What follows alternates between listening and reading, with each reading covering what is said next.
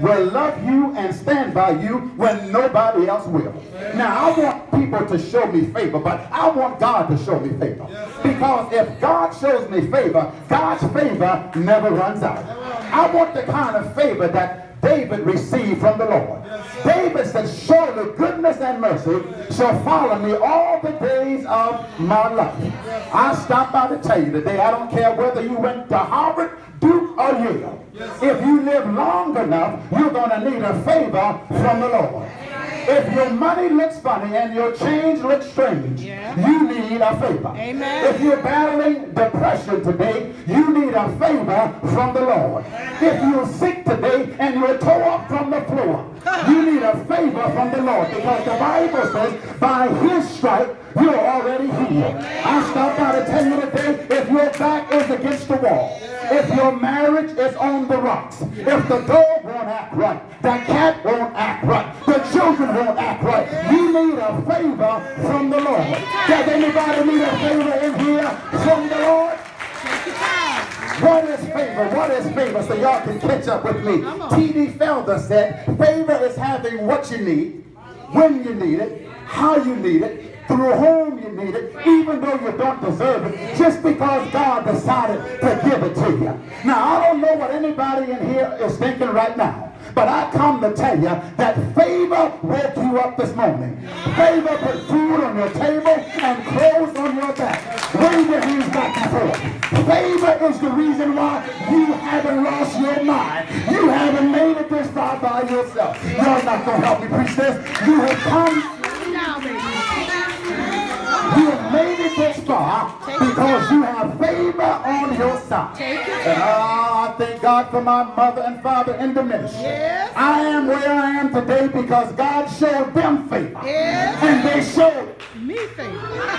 Me favor in our text. I have about 12 more minutes. I have to hurry up. Take in our text. Take your time. Take your time. Abraham, Abraham uh, received a visit from the Lord. The Lord shows up and he begins to speak to Abraham. Now check this out now. Brother Abraham is just uh, going about his normal yes. routine. Come on now. That's why we need to be good because we never know when the Lord is going to show up. Can I talk to somebody in here? The Lord shows up and say, look here, Abraham. He says, now, I'm going to bless you, but before I bless you, you have to leave Atlanta. You have to get out of your mama house, your daddy's house, and go to a place that I will show you.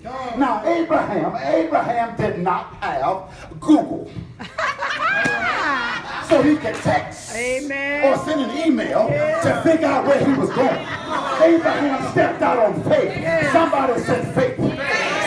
So I stopped by to tell you today, if you want God to bless you, you're going to need crazy faith. Can somebody shout crazy faith? Now you do know that Christians are crazy by nature. Yes.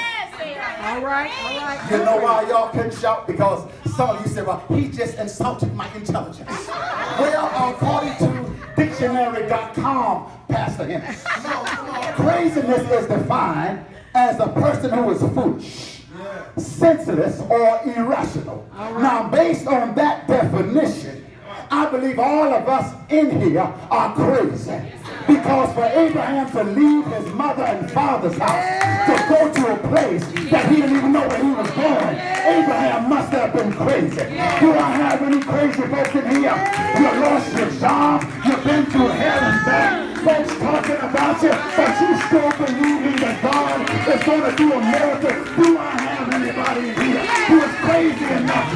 believe that God is good all the time? Jesus, Jesus. God blessed Abraham. I have about nine more minutes. I'm almost done. Take your time. God blessed Abraham.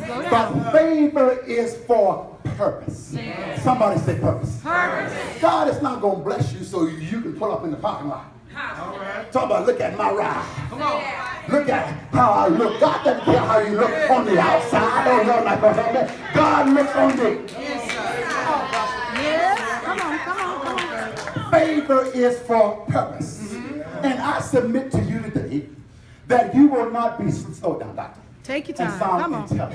Slow down. I Slow down. submit to you today yes. that you will not be sitting in here if it wasn't for your grandmama, your great grandmama, somebody showed you favor when you didn't deserve it. Now, I don't know about you, but I would not be a preacher today if I didn't have a mother who woke me up Yes. and made me go to church. Amen. I remember, uh, I remember I told my mother, I'm not going to church. She said, baby, get up and go to church. I said, mama, I'm sleepy. I was in the nightclub.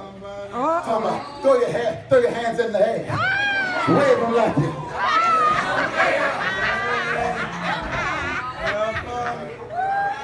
In the old church, if your mother